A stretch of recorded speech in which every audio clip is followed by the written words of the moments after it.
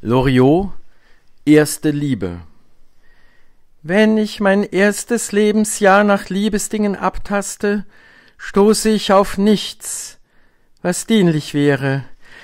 Vielleicht habe ich einschlägige Erlebnisse aus Reue oder falscher Scham verdrängt, aber da ich fülligen Blondinen seinerzeit nur in ausschweifender Ernährungsabsicht nachzustarren pflegte, ist anzunehmen, dass ein bis zwei der goldenen zwanziger Jahre erotisch ungenutzt an mir vorüberstrichen.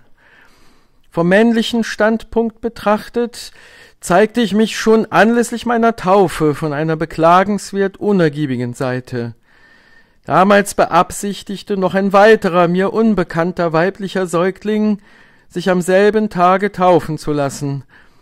Kirchlicherseits war man auf diesen Andrang offensichtlich weder räumlich noch moralisch vorbereitet, denn wir wurden bis zum Beginn der Feierlichkeiten abseits in einen gemeinsamen Wagen gebettet.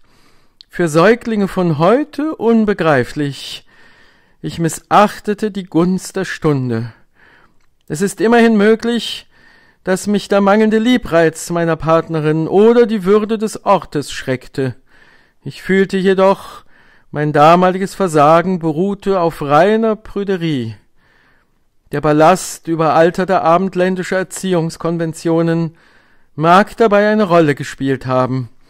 Leider wurde mir im Arrangieren ähnlicher Situationen bis heute kein kirchlicher Beistand mehr zuteil, womit der modernen Seelsorge natürlich kein Vorwurf gemacht werden soll.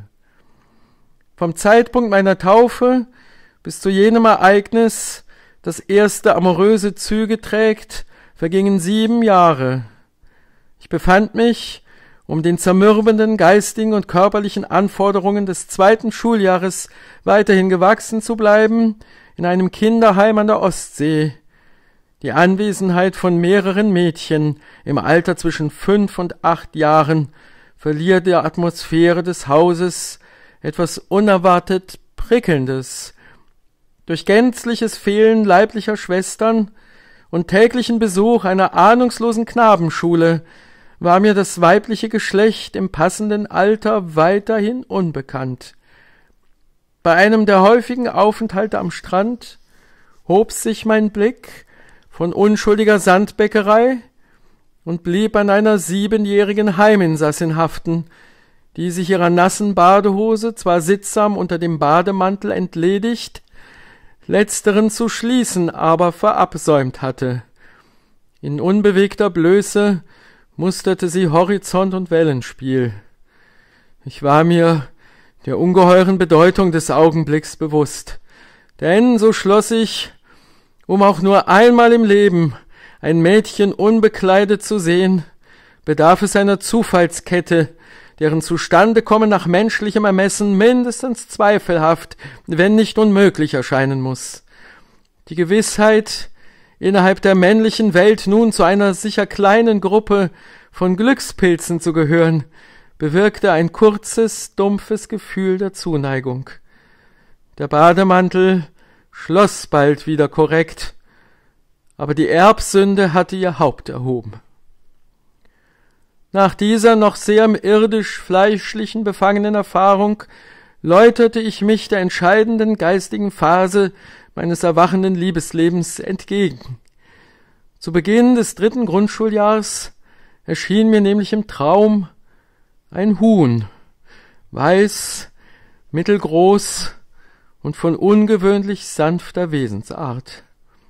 Eigentlich ging es nur schweigend auf und ab oder saß versonnen neben mir, aber ich fühlte, ein Weiterleben ohne Huhn würde sinnentleert und freudlos sein.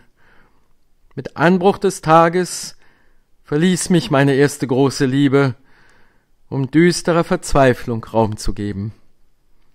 Nutzlos blieb jahrelange Hühnersuche. Es zeigte sich, dass keines der vielen gebildeten, formschönen Hühner mit dem verlorenen zu vergleichen war.